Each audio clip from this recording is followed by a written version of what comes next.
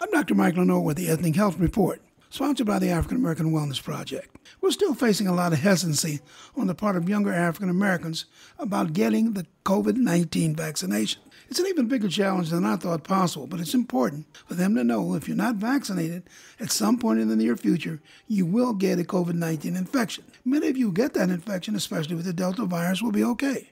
But make no mistake, there will be other variants more aggressive, more dangerous in the future. Many of the people you listen to say they're not vaccinated are vaccinated. But what I'm encouraged the most about is that older African Americans are getting vaccinated in much larger numbers. So I'm enlisting those of you who are grandparents or parents who've been vaccinated to continue to talk to your children and grandchildren with one simple message get vaccinated, not for yourself, for your family, and for your friends. Health Report is sponsored by the African American Wellness Project and the Dan Weinstein Family Foundation.